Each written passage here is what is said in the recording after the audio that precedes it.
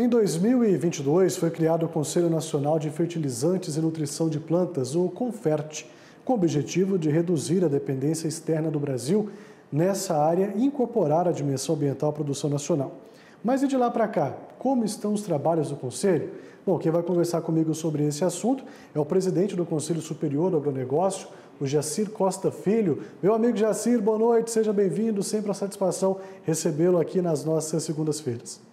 O prazer é meu, Tiago. É sempre um prazer estar aqui com vocês no AgroMais.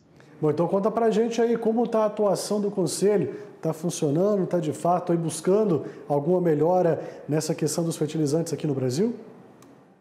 Bom, o, é, governo tomou uma atitude muito importante que é dar continuidade ao Programa Nacional de Fertilizantes, né, o famoso PNF e que isso, sem dúvida nenhuma, é, tem um caráter estratégico é, para o governo é, e para o país como um todo, pois reduz a nossa é, dependência, que hoje está ao redor de 90% de fertilizantes importados, para a nossa, nossa agricultura.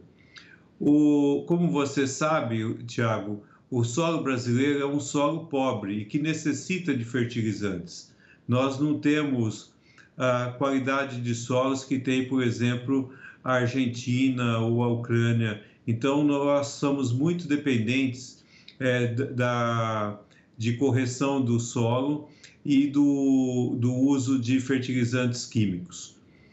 O que está acontecendo no Brasil é o maior uso mais intensivo de biológicos, o que isso é muito importante porque isso dá um caráter ambientalmente mais correto para a nossa agricultura e, ao mesmo tempo, também é, reduz a nossa necessidade de, é, de importação.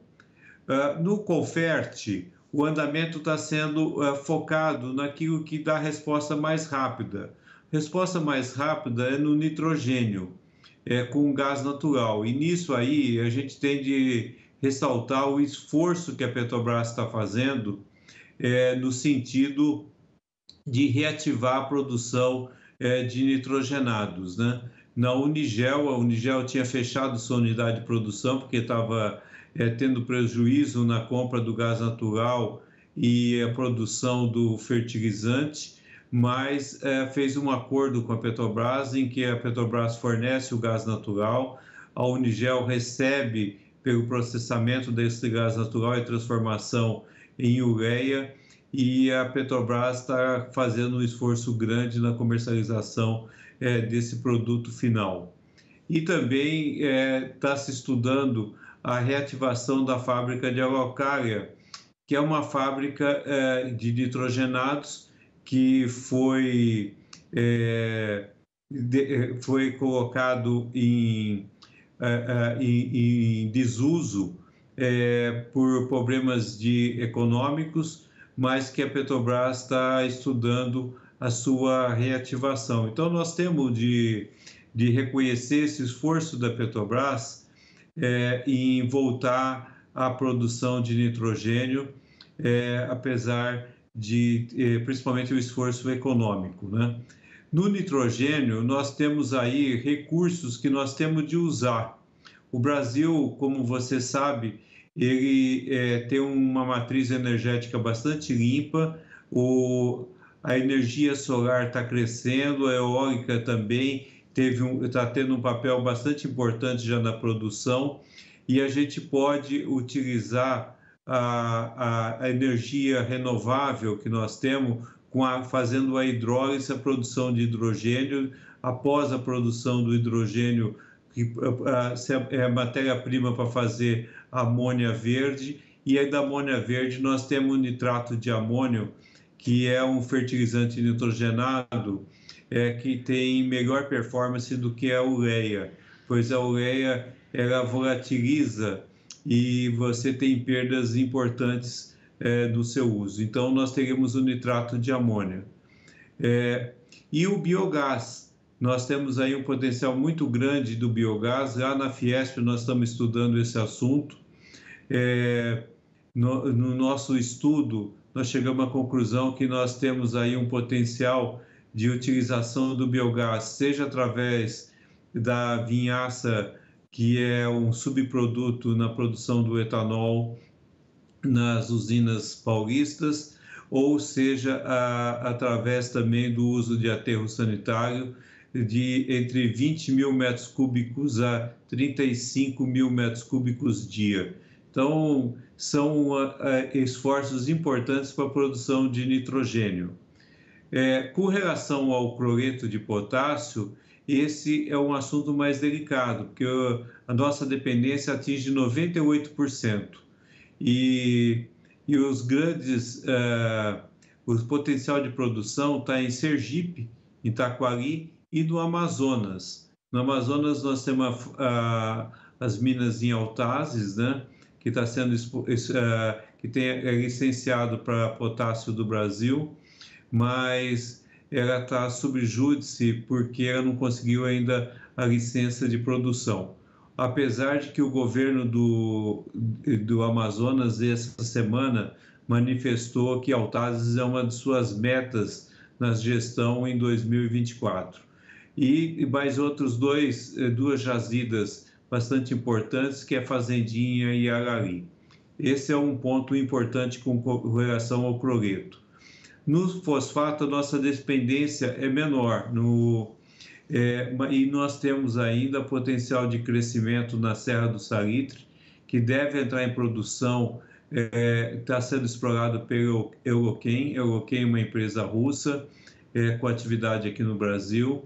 E o fosfato natural, que também está tendo um uso bastante difundido, tem um custo é, é baixo é, e e uma mina muito importante, a mina de Morro Verde, que fica em Pratópolis, no, em Minas Gerais, é, que também pode ser, ser utilizado.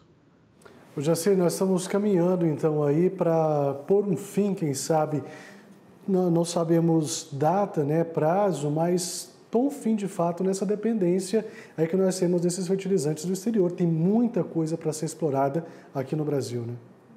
É, nós temos é, coisas a ser exploradas aqui no Brasil, é, mas o grande objetivo do, do Plano Nacional de Fertilizantes é, é, reduzir, não é eliminar a importação, mas reduzir a dependência é, dos atuais 90%, entre 87% e 90%, para alguma coisa em torno de 50%.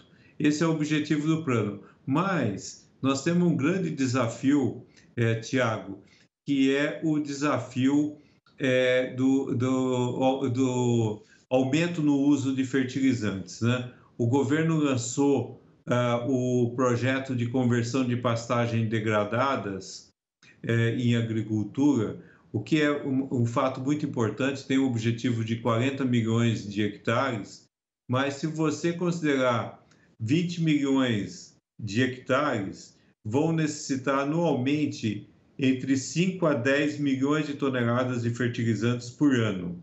Além de que, para fazer a, a regeneração dessas pastagens degradadas, em torno de 20 a 40 milhões de toneladas é, de calcário. Então, você vê que nós temos ainda uma demanda por fertilizantes é, bastante grande. Então, realmente, é, esse Plano Nacional de Fertilizantes eles têm de ser uma prioridade, porque e aí tem que ter um engajamento bastante importante, não só do Ministério da Agricultura, do Ministério de, de é, é, da Indústria, que é que está capitaneando esse plano, o, o vice-presidente e o ministro Geraldo Alckmin, mas também uh, nós temos de ter o apoio aí e a facilitação para a gente aumentar a produção do Ministério do Meio Ambiente e dos outros ministérios que estão relacionados com esse tema.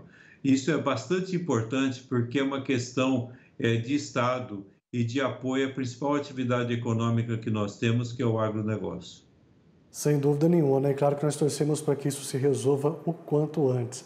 Já sei, meu amigo, quero agradecer muito a sua participação. Ótima semana para você, uma boa noite e até segunda que vem. Até semana que vem, Tiago. É sempre um prazer estar aqui com vocês.